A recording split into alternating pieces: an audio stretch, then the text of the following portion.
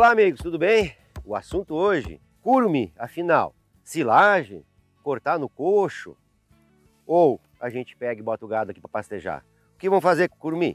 Gente, o curumim, o desenvolvimento dele foi para pastejo, ou seja, o animal vem aqui e vai comendo até uma altura aqui, 40 centímetros, e depois ele vem desenvolvendo e vai chegar aqui mais ou menos uns 80, né, 90 centímetros e você bota o animal de volta. Então você vai entrar com o animal, tira o animal, descansa, rebrota e vai de novo. Esse seria o método tradicional de se usar ele. Agora, dá para fazer silagem? Dá. Nós aqui estamos fazendo. Estamos fazendo silagem. E nós estamos fazendo silagem para quê? Nós estamos para não perder a parte superior, porque essa parte que nós estamos tirando agora vai ser tirada mudas, que a gente vai fazer o plantio de uma nova área lá em cima. Pode ver que lá ao fundo nós temos uma área lavrada. Lá haverá um plantio os animais que vieram para cá. Quem acompanha o canal sabe que a gente tem os animais hoje para fazer o desenvolvimento técnico aqui com animais. E para não perder então a parte superior, a gente vai fazer aqui ó, no tambor. Né? Não vai dar muita coisa, vamos fazer no tambor aqui que é o método mais prático para nós e a gente aqui não precisa se preocupar muito com outra situação a não ser moer direto no tambor, fechou o tambor, vedou, silagem perfeita. Mas o animal, por que, que ele vai comer até os 40 e por que a gente, quando corta, corta reto no chão? Nós temos uma situação peculiar por quê? Quando o animal come até os 40, vai acontecer, gente, algo peculiar como acontece aqui. Ó. Ele vai encher de perfilamento com folhas novas e cada perfilamento vai encher com muita folha. O, o curumim ele tem uma característica de lançar muita folha. Eu, agora no inverno é difícil mostrar para vocês o, o, potencial dele. Eu vou ter que usar uma imagem que a gente gravou lá no verão, para vocês entenderem como é que ele é no largar folha. Então ele bota muita folha e o animal vem e se serve de novo. E isso vai fazer que no pastejo, essa parte de baixo fique assim, ó. ó veja que ela agora não quebra fácil, mas quando ela, é ele é novinho, ele vai facilmente quebrar. Ele é bem macio, ó. Ele é macio, ó. Olha aqui na minha mão, ó. ó eu estou aqui só espremendo ele, ó. Então ele é muito macio, muito palatável, o animal vai se servir dos brotos e aqui ele vai criando resistência. E essa resistência faz com que o animal consiga se servir e ele estando mais alto com a brotação também, o animal não vai lá embaixo e vai invadir muito. Ele vai ficar rodeando aqui as toceiras, vai comer e ele não pisoteia tanto. Então se ele está lá embaixo, vai pisotear. Então quando é pastejo, gente, a gente sempre vai deixar na altura de 40 e vai recomeçar na altura de 40. Agora quando eu faço silagem, para incentivar mais brotação, eu corto ele embaixo ou se eu vou conciliar as duas coisas, eu corto ele mais em cima, igual o pastejo. Né? Então, depende. Vou fazer só silagem com esse curmi aqui, esse, esse pedaço aqui, eu vou fazer só silagem. Então, nesse talhão que eu faço só silagem, eu posso cortar ali embaixo. Ele vai brotar com brotes viçosos, só que tem um detalhe, esses brotes, eles vão trazer muita vigor e podem, com o tempo, enfraquecer o rizoma que está embaixo.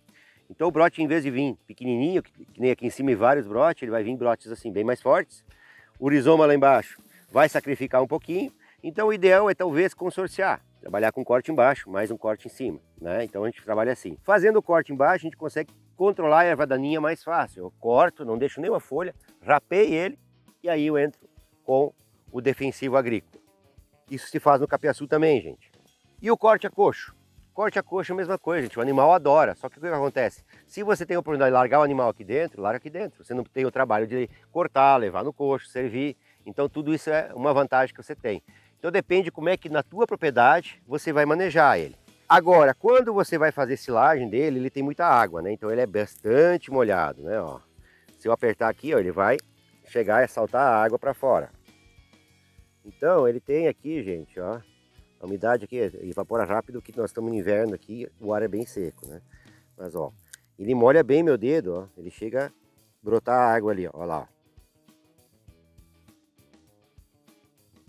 Então assim, ó, ele é bem molhado, gente, tá?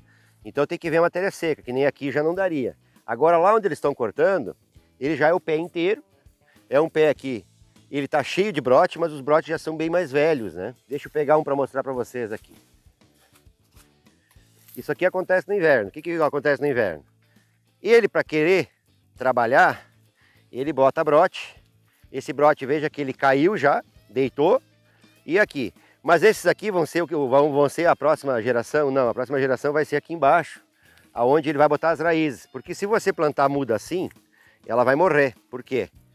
Porque não tem, ó, a gema não tem força para manter esse brote desse tamanho. Mas o objetivo dele é esse aqui, ó, gente, ó. Aqui está o pé. E aqui está a parte superior, certo? Parte do solo e parte superior. Então, o, o capiaçu e o curumim fazem a mesma coisa. Bota um monte de brote, esse brote vai pesar e ele vai tombar, né? Esses brotes aqui, vão continuar aqui. Se conseguir atingir o solo e conseguir botar raiz, isso aqui sobrevive. Mas o objetivo dele é esse pedaço aqui. Aonde ele não botou brote, mas ele vai botar raiz e brote ao mesmo tempo. Então, eu vou pegar um outro pedaço aqui, para vocês verem como é que funciona. Aqui, ó. Veja que aqui embaixo, ele bota bastante raiz, tá? Eu tenho lugares, tem muita raiz, olha aqui, ó. ó. Ele bota muita raiz aqui, ó. E aqui o brotinho tá pequeno, por quê? A ideia dele sempre é tombar e conseguir atingir o solo. Mas esses brotes grandes aqui, ó, não vinga mais. Se você tentar cortar no meio e plantar, ou plantar isso aqui inteiro, é difícil ele vingar. Por quê? Porque ele precisa de muita umidade e muita energia para manter um brote desse tamanho aqui, ó. Então, a gente plantar muda num brote assim é bem complicado. Mas olha o que está acontecendo aqui ainda. O brote já tem gema em condições de fazer muda. Tamanha necessidade que ele tem de sobrevivência. Então, o, o elefante, né, os capins elefantes, isso aqui é da família dos elefantes, é um híbrido, eles têm essa necessidade, uma necessidade muito grande de sobrevivência. Então ele vai botar semente, aquela que eles vendem por aí dizendo que é semente de curumim? É semente do curumim, sim. Só que ela vai nascer um capim elefante comum. Veja que o híbrido, veja que um híbrido não tem a condição de nascer dessa semente um híbrido. Vai ter que plantar pela gema. Então, as pessoas se aproveitam e vendem. Ó. Isso aqui, todo capim elefante larga o pendão. Isso aqui é a semente. O vento leva e ela vai se espalhando. E ela se vai se aumentando. Então, lá dentro do mato vai nascer um capim lá. E aqui tem curumim. Ah, é um curumim. Não, não é um curumim. É apenas um capim-elefante, um dos que foi usado na junção que houve aqui.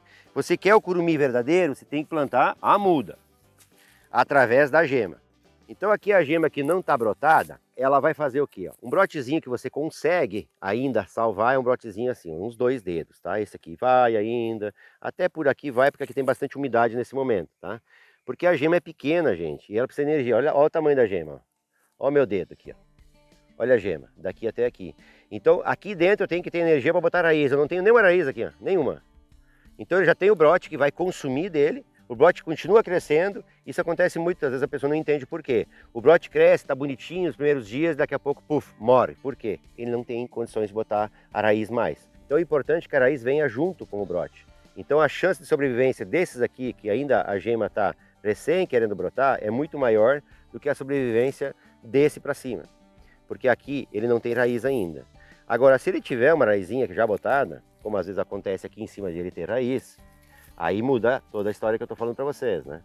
Veja bem que aqui, dentro dessa palha aqui, certamente temos raiz.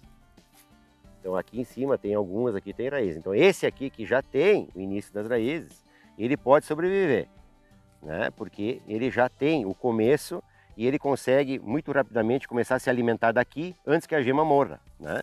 Então essa é a diferença. Né? Alguns aqui têm raiz já. Ó, quando ele tem raiz, sim.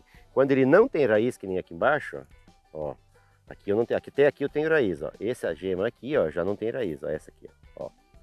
Tem raiz alguma, aqui tá a coroa dela. Tá querendo botar ali, ó, a raiz. Ó. Então essa aqui tem uma chance de sobreviver, por quê? Porque ela já tem o coroamento aqui querendo estourar e ela indo pro chão ela vai. Essa aqui ainda não brotou e essa aqui, ó, não tem nem sinal ainda de coroa. Então é assim que funciona, gente. Mas o objetivo desse vídeo justamente é você entender qual o uso que a gente dá do curumim. O uso que você dá do, do, alimento é o uso que você consegue conciliar na tua propriedade o melhor resultado. Então você pode colocar o animal aqui no meio, veja que é capiaçuva, não faz mal esse capiaçu aqui. Se você botar o animal no meio, vai pisotear? Vai. Vai piorar a situação dele um pouco? Vai. Só que no caso meu aqui, da propriedade, a gente está eliminando esse capiaçu dessa, dessa região aqui para fazer um pomar aqui. E eu tenho capiaçu em outra região lá. E eu não uso muito capiaçu aqui. Por que, que eu não uso capiaçu? Porque para mim, na minha região, eu tenho condições de ter coisas melhores que o capiaçu. Ele é ruim? Não. ele salva muito animal pelo Brasil afora, principalmente as regiões norte, mas aqui no Rio Grande do Sul eu tenho condições de ter o curumim, que é melhor que ele, eu tenho condições de plantar N coisas aqui, muitas coisas. E tem gente que não consegue, só consegue plantar coisas que resistem à seca, que resistem à falta de água, falta de chuva. Então esse cara aqui aguenta bem, falta de chuva, capiaçu aguenta bem, né?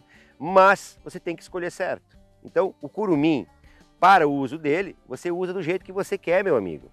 O que, que eu explico para vocês novamente? Se cortar embaixo, toda vez embaixo, ele vai enfraquecer. Se você olhar para o manual da Embrapa, ele vai estar tá falando para entrar com 80 e tirar o gado com 40 centímetros. Mas o que, que a gente faz com isso aqui, gente? Se eu não vou botar o gado aqui dentro porque eu quero tirar muda? Vou fazer silagem, vou aproveitar o, o aproveitar o alimento.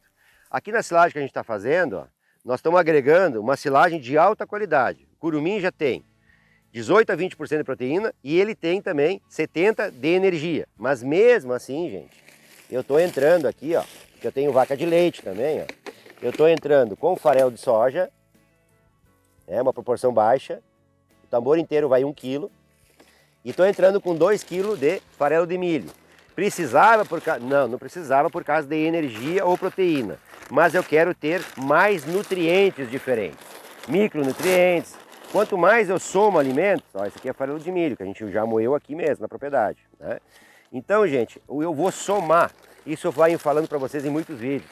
Ter 10 alimentos. Aqui nós temos, por exemplo, lá estamos plantando milho para pastejo, a mão, a lanço, não com máquina, cresce, cresceu o tanto que cresceu, bota o animal dentro, o animal comeu, você planta de novo. Então, gente, hoje a gente está lavrando justamente uma área que lá nós estamos plantando hoje, no mesmo dia, milho, e estamos plantando, vamos plantar o curumim. Curumim, se não der hoje, a gente vai plantar amanhã, estou preparando as mudas aqui, se der hoje faz, faz a silagem até que dá, e a muda pode ser plantada no dia seguinte. E a gente já tem plantado lá em cima, no topo, ainda cultura de inverno, plantamos aveia ah, no mês passado, no dia 8, não, esse mês no dia 8, que aqui ninguém planta aveia nessa época, mas eu plantei. Por quê? O gado tem o que comer. Se ela cresceu um instantinho assim, ele vai comer que é uma delícia, entendeu? Eu tenho que pensar no animal, o que ele vai comer e o que eu posso no momento.